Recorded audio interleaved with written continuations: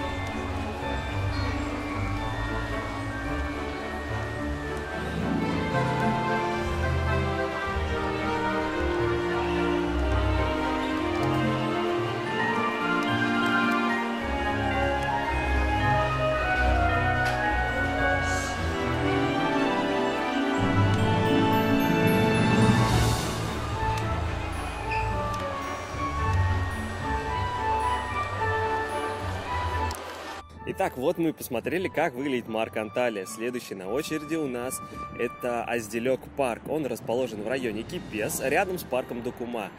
Около него мы тоже снимали прогулку. Ссылку на нее я оставлю в описании, а также сейчас выйдет подсказка. Давайте же смотрим.